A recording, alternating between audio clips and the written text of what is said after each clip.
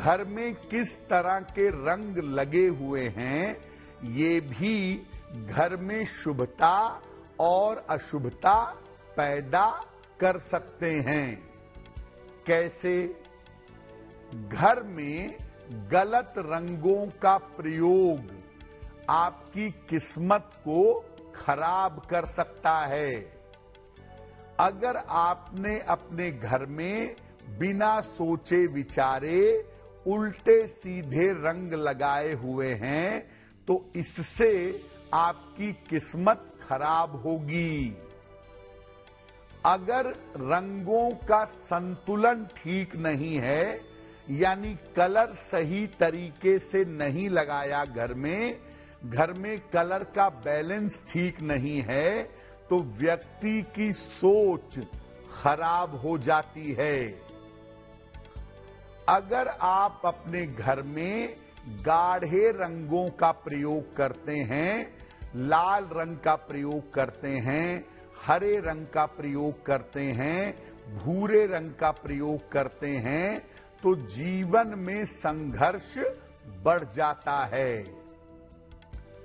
भूरा, लाल और गाढ़ा हरा, ब्राउन, रेड और डार्क ग्रीन कलर नौकरी में समस्या बढ़ा देता है।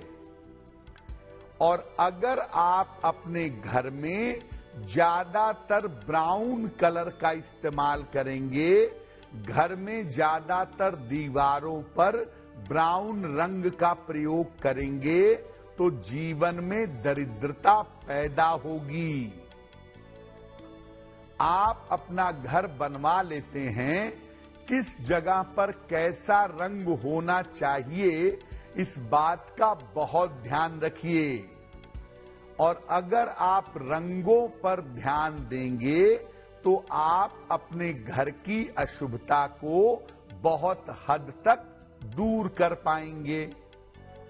रंगों के लिए क्या उपाय करें?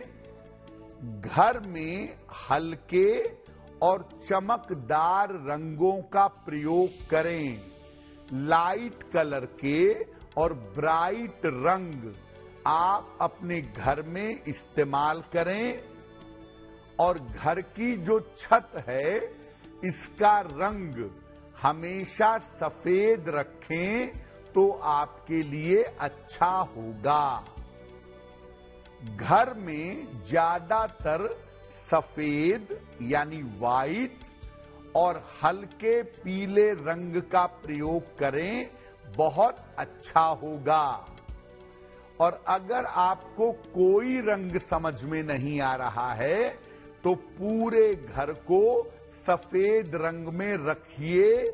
आपके घर में अकेले सफ़ेद रंग के प्रयोग से शुभता बढ़ जाएगी। जहाँ जहाँ गलत रंग लगाए हुए हैं, उन रंगों को हटाइए। पहले वहाँ पर सफ़ेद रंग करवाइए। वाइट कलर अकेला अगर पूरे घर में लगा हुआ हो, अकेला ये रंग पूरे घर की अशुभता को बहुत हद तक कम कर सकता है, कम कर देता है। अपने घर के मुख्य द्वार पर सफ़ेद या क्रीम रंग का अगर आप प्रयोग करें तो आपके लिए बहुत अच्छा होगा। आप अपनी कुंडली के अनुसार भी अपने शुभ और अशुभ रंग जान सकते हैं और उसका लाइट शेड इस्तेमाल कर सकते हैं। लेकिन मैं फिर कहूँगा कि अगर कोई रंग आपको समझ में नहीं आ रहा है तो आप सफ़ेद रंग का प्रयोग करें, आपको लाभ ज़रूर होगा।